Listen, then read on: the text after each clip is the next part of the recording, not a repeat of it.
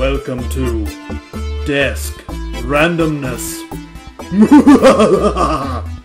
Yo, man, I got license plates. I got all kinds of license plates, man. You need a license, I'll sell you a license plate, man. Send the money, I send you a plate.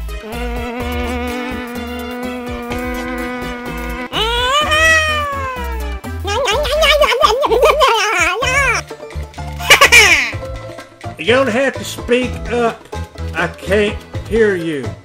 I cannot hear you at all. Say it once more. If I could only remember what it was I was supposed to buy at the market today. I just can't remember. I'm gonna take this marker and I'm gonna put it in your eyeball and I'm gonna do it right